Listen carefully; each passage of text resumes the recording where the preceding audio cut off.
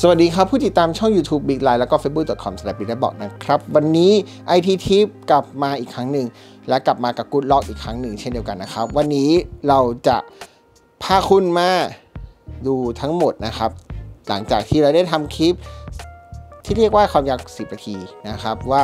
ตัวของฟีเจอร์ต่างๆ ของตัว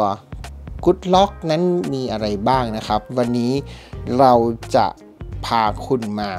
ปรับ ตัวปากกา S Pen ถ้าคุณคิดว่าการปรับปากกาปกติหน้าตาเดิมๆมันน่าเบื่อ มันจะทำอย่างไรได้บ้าง วันนี้ IT Tip เรามีคำตอบนะครับสำหรับ S Pen นะครับ มันก็ต้องโหลดโปรแกรมชื่อว่า Pentastic นะครับ นี่ ตัวนี้ Pentastic สมมติว่าดาวน์โหลดมาแล้วนะครับ มันก็จะเป็นอย่างนี้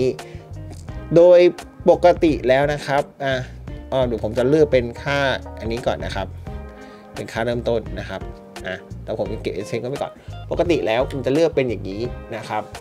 และถ้าสมมุติว่าคุณต้องการจะเปลี่ยนเนี่ย ในส่วนตัวนี้เราสามารถที่จะเปลี่ยนก็คือ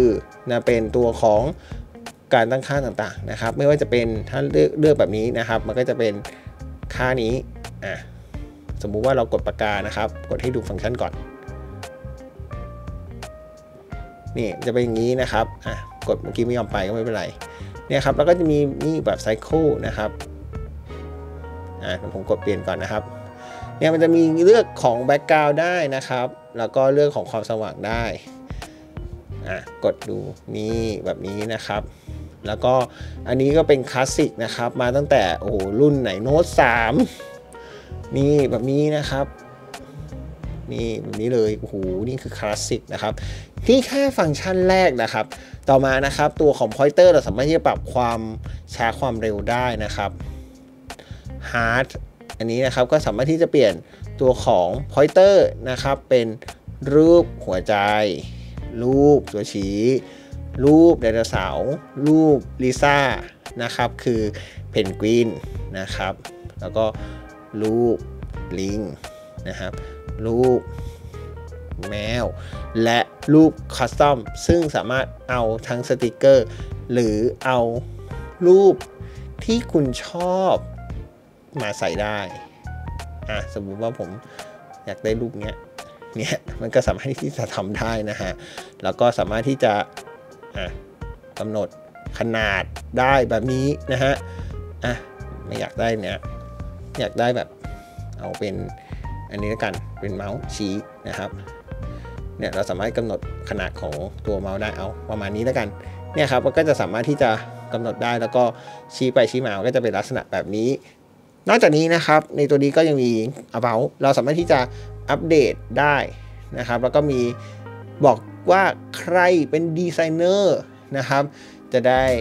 รู้ว่า เอ้ยแอปพลิเคชันนี้มันเกิดมาจากกลุ่มพวกนี้ในการพัฒนาครับอะสำหรับ Pentastic